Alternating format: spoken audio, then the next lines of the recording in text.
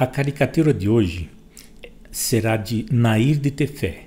Ela nasceu em berço aristocrático em 10 de junho de 1886 em Petrópolis.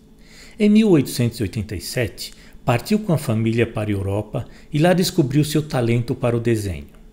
Ela começou desenhando os narizes e os rostos das freiras do convento onde estudava.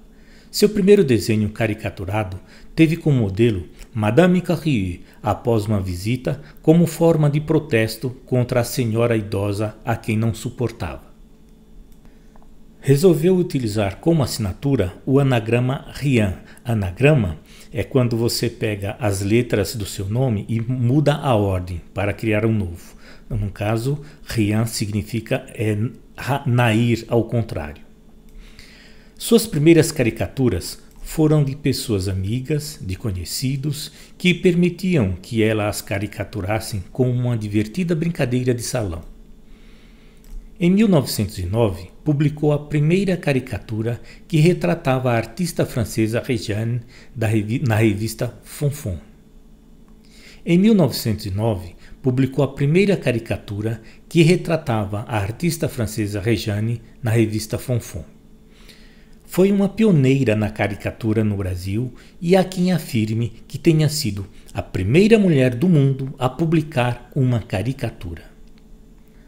Tinha 27 anos de idade quando casou-se com o Marechal Hermes da Fonseca, de 58 anos, que era o presidente do Brasil.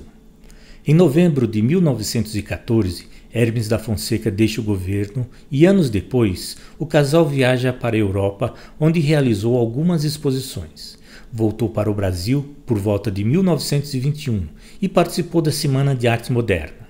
Em 9 de abril de 1929, tomou posse na Academia Fluminense de Letras. 16 anos depois, já viúva, aos 73 anos, voltou a fazer caricaturas, inclusive de várias personalidades. No fim dos anos de 1970, participou das comemorações do Dia Internacional da Mulher.